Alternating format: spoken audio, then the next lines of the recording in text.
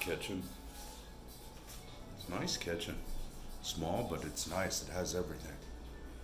Microwave, great decoration. She must know that I like espresso because she is an espresso maker and about 10 espresso cups. The fruit. It was a lot more last night when I got here. I ate a lot was awesome. There she is again. View outside is nice. Again, the decoration is very nice.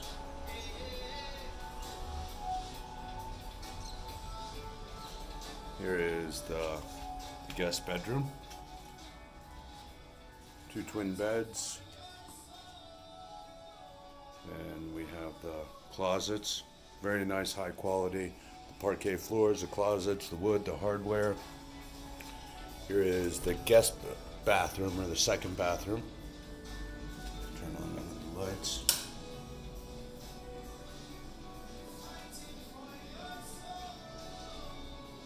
And the toilet was one of those bidets or whatever. Oh, not that fancy enough to know how to pronounce that word. Here's the master bedroom. It's so comfortable. Bed, it's uh, the uh, feather top, I believe you call it, and the, the down uh, pillows.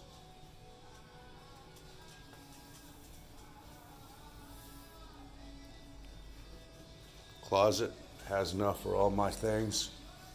Here's the master bedroom, bathroom, sorry.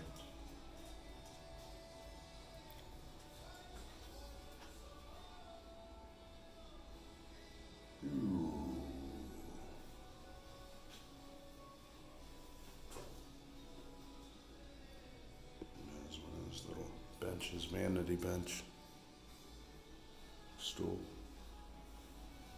Okay, now we are out. We're gonna leave. We're gonna walk around the neighborhood, find out what there is to do, what there is to eat, who there is to meet, and then come back and get some work done. Sophie's doing circles. I think it's time for her to go potty. I may just have to get a dog walker for her in the mornings to let her out so I don't have to jump in the shower and rush out. Anyways, for now, I will leave you all with that. Enjoy your day.